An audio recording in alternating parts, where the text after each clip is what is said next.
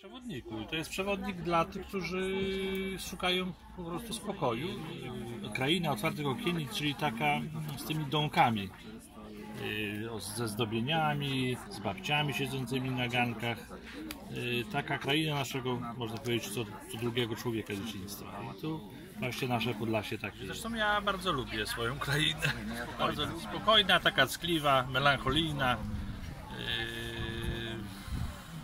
Magiczna też często nazywają. Magiczna to z, chyba ze względu na wielokulturowość, na te obrzędy, które się zachowały, to chyba dlatego. Na pewno tutaj trzeba inaczej czas potraktować, zwolnić trochę.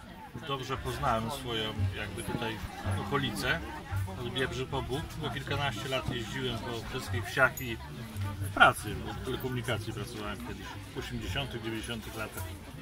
A później jak zacząłem już fotografować, to już miałem ogląd, gdzie mogę, co